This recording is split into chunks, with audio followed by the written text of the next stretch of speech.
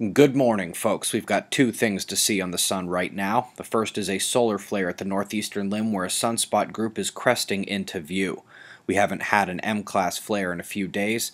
This one is on the limb but could signal more to come as it heads into face Earth. The CME is minor and not Earth directed. We also had a potential CME event on the south just out ahead of the large plasma filament, also turning into face Earth. A smaller filament between dark coronal holes snapped and may have produced a tiny CME. We already have one CME on its way that could deliver potential glancing blow to Earth. Tony Phillips confirms yesterday's analysis of the shock wave.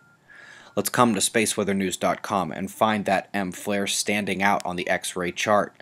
FYI, folks, according to our September Planetary Geometry Deeper Look episode, we are dead in between the only two heliocentric geometries of significance this month, with Mercury having just aligned with the Sun and Mars, and Jupiter replacing the red planet in just two more days. Looking in on the sunspots, we see those disappointing umbras depart to the right while the flare maker comes into view here. Can't wait to analyze that one tomorrow. Also this, with 1 CME on the way, we're having geomagnetic storm activity already due to the blue phi angle shifts of a sector boundary and a strong stream of solar wind hitting this morning. Magnetic instability persists on and off. Folks, I know it seems like just a few days of lower quakes in between coronal holes here, especially with the Chile tsunami still fresh in mind. But here's the next coronal hole coming in to face Earth and set to raise the quakes again this week most interesting quake of the last day was barely above average on the Canadian coastline. Article of the day is about Rosetta and Comet 67P. The surface of the comet is changing so fast it defies everything the scientists thought was possible.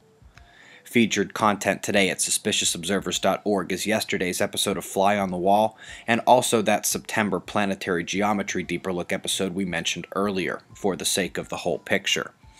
Observing the Frontier is just a few weeks away. Last chances to get tickets, be a sponsor, and get a first hand look at the frontier of the sciences that have brought nearly a quarter million observers together at this channel. Top weather stories include a low near Baja with potential U.S. effect as it is slated to run right up over Arizona. Hot water in the Gulf of California as well. We've got to pay more attention to the convergence line storms in the UK as we have had way too many tornadoes hitting England just the last week.